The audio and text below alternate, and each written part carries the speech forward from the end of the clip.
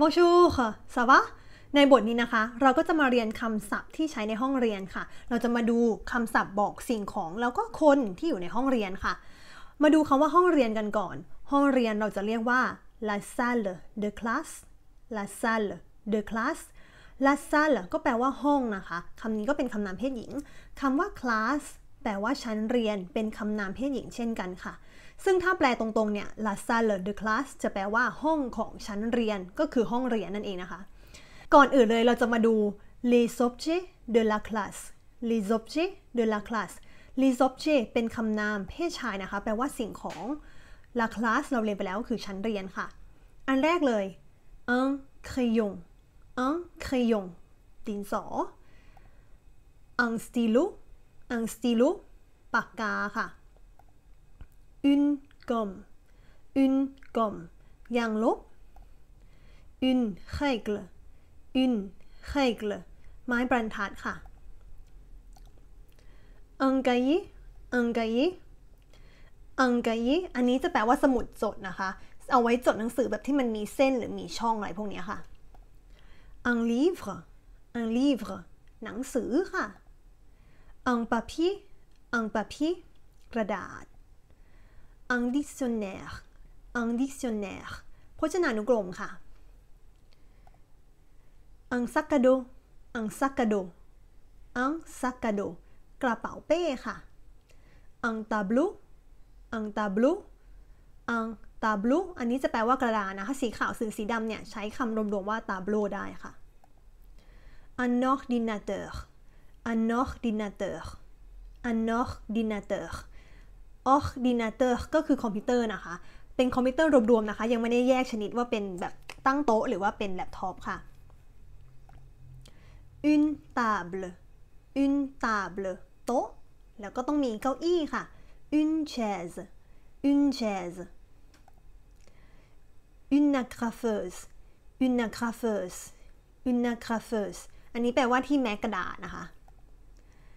des ciseaux des ciseaux สังเกตว่าคำนี้น่ะเป็นคำนามเพศชาย แต่เราจะมีเฉพาะรูปพหุพจน์เท่านั้น เพราะมันมีสองขานะคะ เพราะฉะนั้นพูดถึงกันไกปุ๊บ จะเรียกว่า des ciseaux ค่ะ une carte une carte แผนที่ค่ะ ต่อไปนะคะ เรามาดูคนที่อยู่ในห้องเรียนบ้างนะคะ บุคคลที่อยู่ในห้องเรียนเราก็จะเรียกว่า les personnes de la classe les personnes de la classe les personnes เนี่ยก็จะแปลว่าคนเป็นคำนามเพศหญิงค่ะ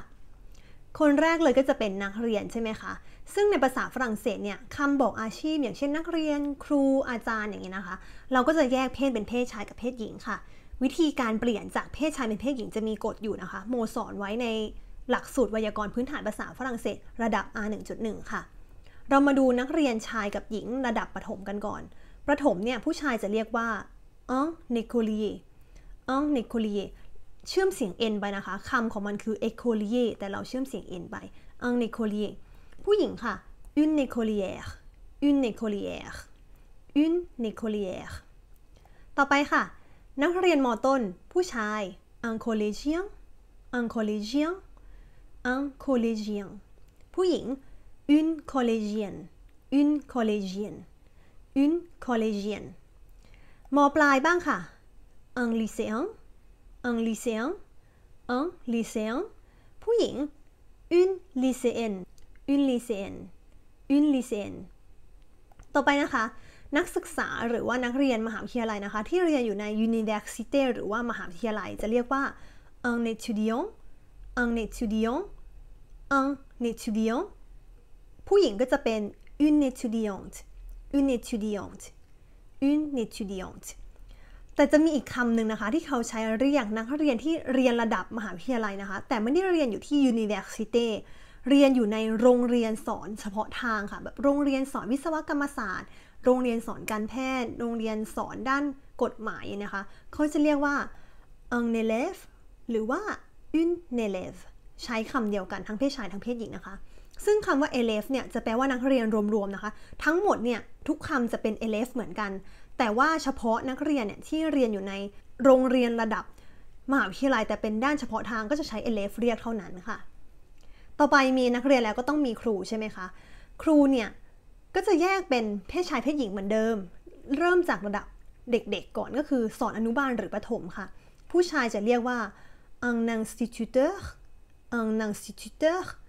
instituteur instituteur นะคะเชื่อมเสียง n มาที่ คำแรกเช่นกันก็กลายเป็น un instituteur ผู้หญิงค่ะ une institutrice une institutrice une institutrice พอระดับสูงขึ้นไปนะคะ จากประถมขึ้นไปแล้วเนี่ย จะเรียกเป็นเหมือนกันหมดเลยก็คือ un professeur un professeur หรือว่า une professeur une professeur une professeur สังเกตว่าของเพศหญิงเนี่ย โมมีวงเล็บตัวเออไว้ข้างหลังใช่ไหมคะ ในหนังสือสมัยใหม่นะคะเขาก็จะมีเออเพิ่มขึ้นมาค่ะ เพราะว่าเป็นการยอมรับแบบสมัยใหม่ว่าสามารถเติมเออได้สำหรับคำนี้ที่เป็นเพศหญิงนะคะ ตั้งแต่สมัยก่อนนะคะคำว่า professor เนี่ยรูปเพศชาย และรูปเพศหญิงเขียนเหมือนกันนะคะ ไม่มีตัวเออข้างหลังในรูปเพศหญิง เพราะฉะนั้นถ้าเราเขียนแบบไม่มีเออเนี่ยคนฝรั่งเศสก็ยังเข้าใจว่ามันถูกต้องค่ะ